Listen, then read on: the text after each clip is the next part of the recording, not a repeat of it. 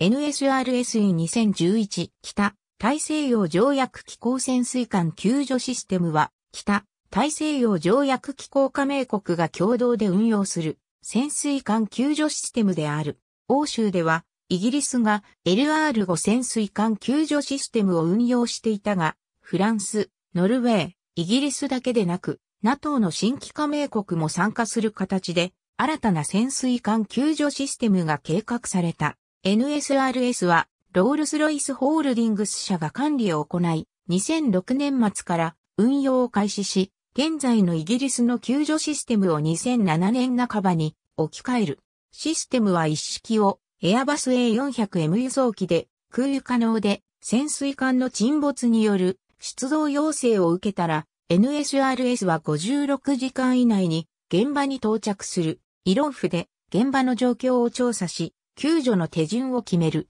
SRV は下半式で回収できるシステムで6時間で減圧する。減圧装置を備え運用する。すべての装置は母線で切り替え可能である。18時間以内に任務を完了できるようにされている。72時間以内に救助して15人ずつ、洋上の減圧装置に送る。海在型遠隔操作式無人潜水機は、遠隔操作無人探査機で、本体と発信、回収システム、制御部から構成される。本体は、商業的に広範囲に使用され実績のあるトリトンをベースに開発された水力変更式推進機を備え、水深1000メートルでも使用でき、過半性に優れコンパクトである。潜水艦救助機は、友人の深海救難艇で、従来の救助機から開発された。全長10メートル、27トンの潜水艦で、船体は単角式で、全構成である。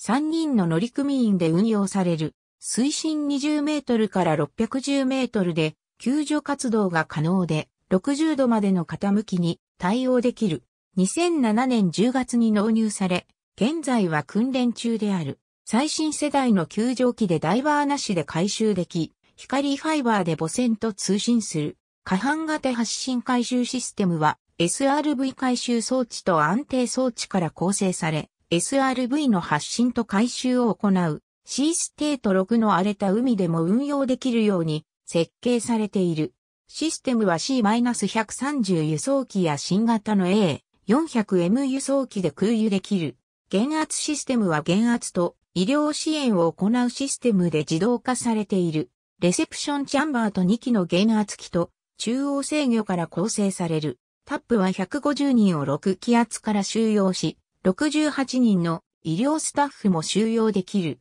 NSRS はスコットランドのクライド海軍基地を拠点として運用される。ありがとうございます。